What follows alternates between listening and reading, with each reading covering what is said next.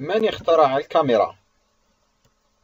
الكاميرا هي عبارة عن آلة تصوير تقوم بتصوير صور ثابتة أو متحركة وتحتاج إلى هذه الآلة إلى عدة عدسات لتركيبها.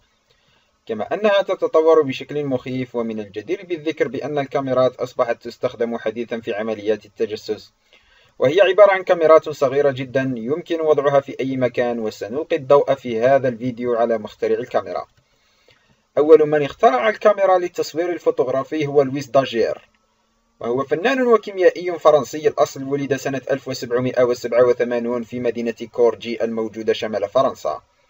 وكان لويس رساما في بداية حياته وعندما وعند وصوله عمر الثلاثين اخترع طريقة لعرض اللوحات الفنية مستخدما أسلوبا معينا في الإضافة حيث حاول أن يجد طريقة لنقل المناظر الطبيعية بصورة آلية.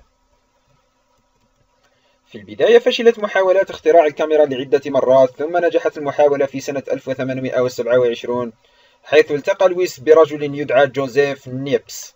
وكان هذا الرجل يحاول اختراع الكاميرا واهتدى إلى طريقة شبه ناجحة. ثم بعد ذلك بسنوات قرر لويس وجوزيف أن يعملا معا ولكن الحظ لم يساعف جوزيف نيبس فقد توفي سنة 1833 فأكمل لويس داجير الطريق لوحده في هذا المجال وقد نجح سنة 1837 حيث ابتدع نظاما عمليا للتصوير الفوتوغرافي وأطلق عليه اسم نظام داجير يعد لويس داجير عالما ومصورا للمناظر الطبيعية كما أنه مخترع لآلة التصوير الشمسي وقام بالعديد من الاختراعات ومن أبرزها اختراع الديوراما. وهو عبارة عن مشهد ثلاثي الأبعاد مصغر أو بالحجم الطبيعي تكون فيه الأشكال والمناظر الطبيعية بشكل غير مرتب.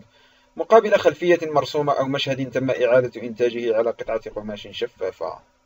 ويكون الضوء من خلفه مشعا للحصول على تغييرات يتم رؤيتها.